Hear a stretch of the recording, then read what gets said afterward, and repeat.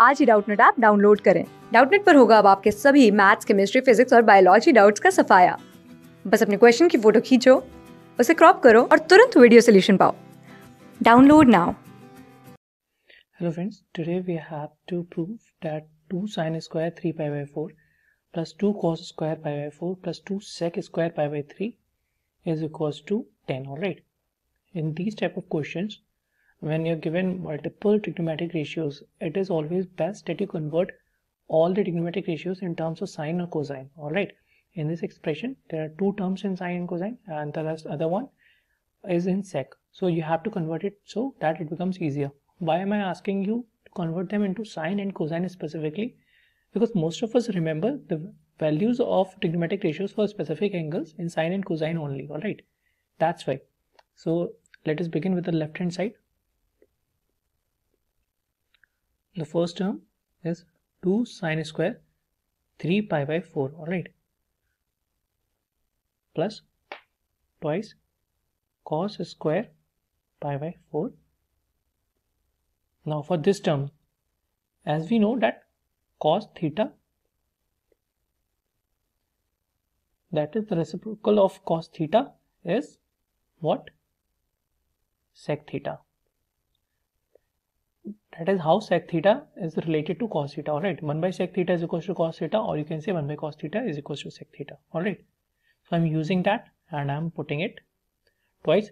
Instead of sec square theta, I'm writing it as 1 upon cos square of pi by 3 alright now that we have converted all our express terms in sine or cosine what we have to do is we have to make sure that all the angles preferably are within 0 to pi by 2 why so, why so?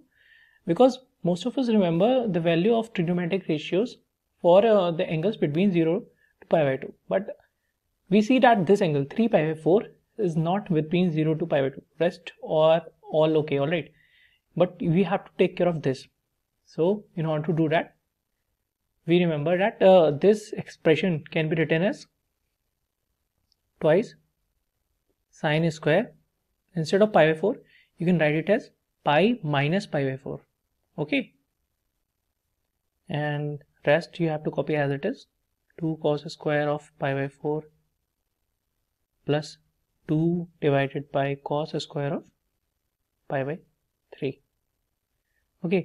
Why I have expressed this 3 pi by 4 as pi minus pi by 4 because sine of pi minus theta is equals to sine theta okay? It is a general formula and you should remember it. Since we are talking about the second quadrant eh, the sine is going to be positive. Sine theta is positive in first and second quadrant all right so instead of this sine pi minus pi by 4 I can uh, put sine theta or that is sine pi by 4 theta is pi by 4 in this scenario alright so it becomes twice sine square pi by 4 plus 2 cos square pi by 4 plus 2 divided by cos square of pi by 3 alright now what you have to do you have just have to put all these values. Since we know that sine of pi by 4 is equals to cos of pi by 4 is equals to 1 by root 2 alright? And cos of pi by 3 is 1 by 2 alright? Now you just have to take these values and put it here. So it becomes twice square of 1 by root 2 plus twice into square of 1 by root 2 again plus 2 upon 1 by 2 whole square. So it becomes 2 into 1 by 2 plus 2 into 1 by 2 plus 2 into 2 square. That is 4 so it is 1 plus 1 4 into 2 is 8 so I have finally reduced it and it is 8 all right okay i look at the question and this was 8 okay so have we have proved this question thank you for watching the video class six से twelfth से लेके NEET I I T JEE mains और advance के level तक दस million से ज़्यादा students का भरोसा आज ही डाउनलोड करें डाउट नेट ऐप या व्हाट्सअप कीजिए अपने डाउट्स आठ चार